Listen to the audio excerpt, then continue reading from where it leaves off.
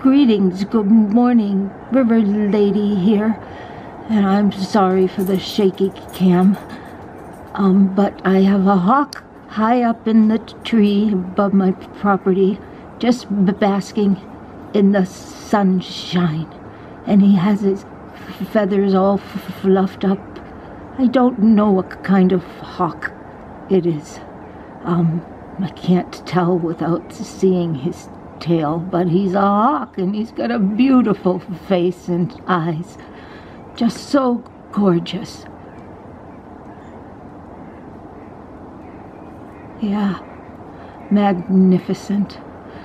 Okay, I thank, thank, thank you for watching, and I hope you have a wonderful day. Stay safe, Hawk.